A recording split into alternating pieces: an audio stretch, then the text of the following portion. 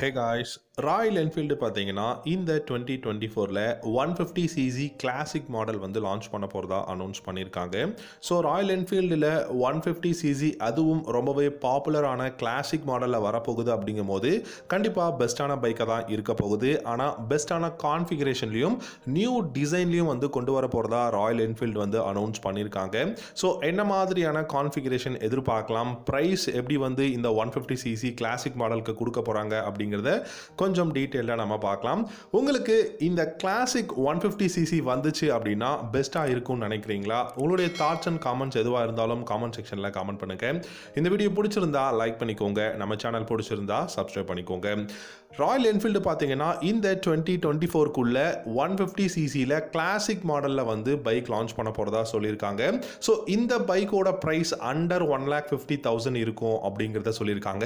Already Hunter one ஃபிஃப்டியே பார்த்தீங்கன்னா உங்களுக்கு ஒரு லட்சத்தி நாற்பத்தொம்பதாயிரம் ரூபாய்க்கு தான் எக்ஷோரூம் ப்ரைஸில் பார்த்தீங்கன்னா பேஸ் மாடல் வந்து அவைலபிளாக இருக்குது ஸோ அதை விட ரொம்ப கம்மியான ப்ரைஸில் கிளாசிக் த்ரீ ஃபிஃப்டியும் வர்றதுக்கான பாசிபிலிட்டிஸ் இருக்குது maybe one lakh forty thousand one lakh forty five தௌசண்டில் classic one fifty CC வரும் அப்படிங்கிற மாதிரி சொல்லியிருக்காங்க.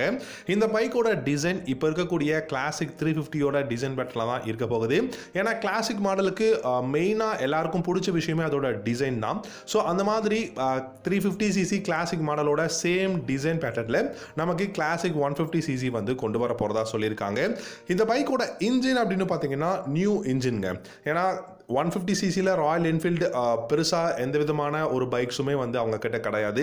அப்படி இருக்கும்போது ஒன் ஃபிஃப்டி சிசியில் அதுவும் ஒரு க்ரூசர் பைக் மாதிரியான டிசைனில் நல்லா பார் அண்ட் டார்க் வேணும் அப்படின்னு பார்க்கும்போது நியூ இன்ஜின் பிளாட்ஃபார்ம்லேருந்து தான் இந்த கிளாசிக் ஒன் ஃபிஃப்டியை வந்து இன்ட்ரடியூஸ் பண்ண போகிறாங்க இந்தியாவில் இந்த ஒன் ஃபிஃப்டி சிசியில் நமக்கு ஃபைவ் ஸ்பீட் கியர் பாக்ஸ் தான் இருக்க போகுது. இந்த ஃபைவ் ஸ்பீட் கியர் பாக்ஸும் பார்த்தீங்கன்னா நல்ல பாரன் டார்க்கை வந்து ப்ரொடியூஸ் பண்ணும் அப்படிங்கிறத தான் சொல்லியிருக்காங்க. ஸோ பாரன் அண்ட் டார்க் எவ்வளோ இருக்கும் அப்படின்னு சொல்லிட்டு அஃபிஷியலாக இன்னும் எந்த விதமான கன்ஃபார்மான அந்த ஒரு பா பார் அண்ட் டார்க் என்ன அப்படிங்கிறத சொல்லலை. பட் ஓரளவுக்கு டீசெண்டான பார் அண்ட் டார்க் எதிர்பார்க்கலாம். ஃபார் எக்ஸாம்பிள் ஒரு டுவெண்ட்டி ஹார்ஸ் பவரும் ஃபோர்டீன் இல்லாட்டி ஃபிஃப்டீன் நியூட்ரா டார்க்கும் நம்ம வந்து எதிர்பார்க்கலாம். சஸ்பென்ஸ் செட்டப் அப்படின்னு பார்த்தீங்கன்னா டெஃபினட்டாக டெலஸ்கோபிக் ஃபோக்ஸும் ரியரில் ட்வின் ஷாக் அப்சர்வரும் தான் கொடுக்க போகிறாங்க பிரேக்ஸை பொறுத்த வரைக்கும் நமக்கு ரெண்டு வேரியண்ட் வந்து வரப்போகுது.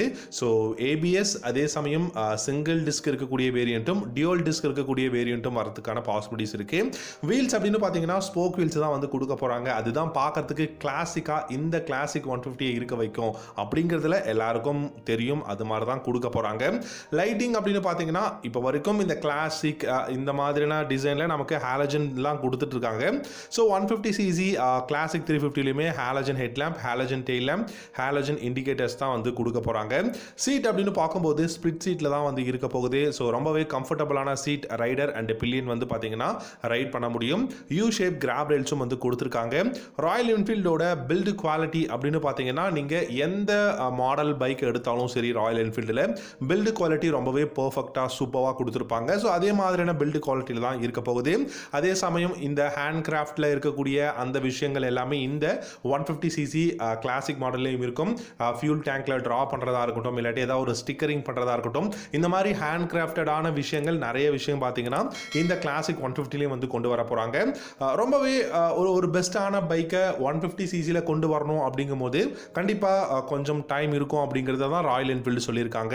ஏன்னா த்ரீ ஃபிஃப்டி சிசி அப்படிங்கும் போது நமக்கு ரொம்ப வருஷமாக பழக்கப்பட்ட ஒரு பைக் ரொம்பவே லெஜண்ட் அப்படிங்கிற நேமில் இருக்கக்கூடிய இந்த கிளாசிக் த்ரீ ஃபிஃப்டியிலேருந்து நமக்கு ஒன் ஃபிஃப்டி சிசியில் ஒரு பைக் வரும்போது டெஃபினட்டாக இதோட வெயிட்டை வந்து ரெடியூஸ் பண்ணி ஆகணும். அதே சமயம் இன்ஜினோட சைஸ் இந்த மாதிரியான நிறைய காம்ப்ளிகேட்டடான ஒர்க் இருக்குது அப்படிங்கிறதுனால இந்த இயரோட எண்டில் நமக்கு அக்டோபர் நவம்பரில் இந்த one fifty CC classic model வரதுக்கான நிறையவே பாசிபிலிட்டிஸ் இருக்குது இந்த பைக்லையுமே டிஜிட்டலில் கிடையாது. அனலாக் இன்ஸ்ட்ருமெண்ட் கிளஸ்டர் தான் கொடுக்க போகிறாங்க ப்ளூடூத் கனெக்ஷன் நேவிகேஷன் மாதிரியான ஆப்ஷன்ஸும் வந்து இருக்கிறதுக்கான பாசிபிலிட்டிஸ் இருக்குது டயர்ஸ் அப்படின்னு பார்த்தீங்கன்னா கண்டிப்பாக டியூப்லெஸ் டயராகவும் இருக்கலாம். ஸோ நம்ம வர்றது போது தான் நமக்கு வந்து தெரியும்.